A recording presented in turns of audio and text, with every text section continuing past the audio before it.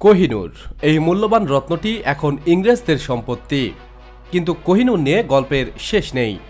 কোথা থেকে এর উৎপত্তি, এর আসল মালিককে? এসব নিয়ে অনেক বিতর্ক আছে। কেউ দাবি করেন ভারতীয় রাজারা স্বেচ্ছায় কোহিনূর ব্রিটিশ মহারানীর হাতে তুলে দিয়েছিলেন। আবার অনেকে দাবি করেন কোহিনূর জোর করে ছিনিয়ে নিয়েছিল ব্রিটিশরা। এমন হাজারো জনশ্রুতির মধ্যে এবার আসল তথ্য দিল আর্কিওলজিক্যাল সার্ভে অফ ইন্ডিয়া। আর এই সংস্থার দেওয়া তথ্যে বিতর্ক আরও বেড়ে গেল। যতদূর জানা যায়, কোহিনূরের বর্তমান ওজন একশো পাঁচ পয়েন্ট ছয় ক্যারেট। একসময় এটার ওজন ছিল একশো ছিয়াশি ক্যারেট, যা কিনা বিশ্বের বৃহত্তম হীরের টুকরো। এর কাটাইনের ধরন দেখলে বোঝা যায় এটি মোঘল আমলের তৈরি। অভিভুক্ত ভারতবর্ষে বহুবার হাত বদলের পর আঠারোশো উনপঞ্চাশ সালে মহারাজা দিলীপ সিংয়ের কাছ থেকে এই হিরেটি চলে যায় ব্রিটিশের মহারানী ভিক্টোরিয়ার কাছে। এরপর থেকেই এটি ইংরেজদের সংগ্রহশালায় শোভা বাড়াচ্ছে।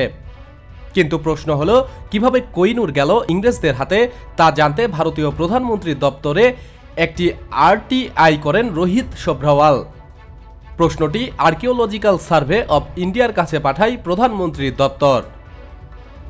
এএসআই জানিয়েছে কোহিনুর স্বেচ্ছায় ব্রিটিশ সরকারের হাতে তুলে দেয়নি ভারত, বরং তা এক প্রকার সনা করেই নেওয়া হয়েছিল।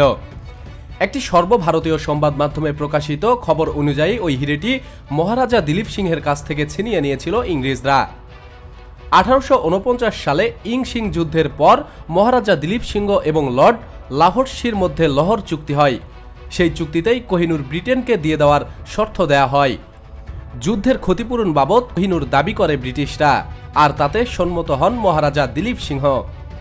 কিন্তু সে সময় তার বয়স ছিল মাত্র নয় বছর। তাই তিনি ওই হীরের গুরুত্ব বুঝতে পারেনি বলে জানিয়েছেন আর্কিওলজিক্যাল সার্ভে অফ ইন্ডিয়া। তাকে ফাঁকি দিয়েই হীরের কথা চুক্তিতে লেখা হয়েছিল বলে দাবি করেছেন মহারাজা দিলীপ সিংহ মেমোরিয়াল ট্রাস্টের চেয়ারম্যানও। তার দাবি, কোহিনুর হাতিয়ে নিয়ে ছলনার আশ্রয় নিয়েছে ব্রিটেন, তাই ওই হিরে ভারতের প্রথম অধিকার। এএসআই জানিয়েছে, ভারত এখনও ইংল্যান্ডের কাছ থেকে হিরেটি ফিরিয়ে আনার চেষ্টা চালাচ্ছে। একই চেষ্টা চালাচ্ছে পাকিস্তানও।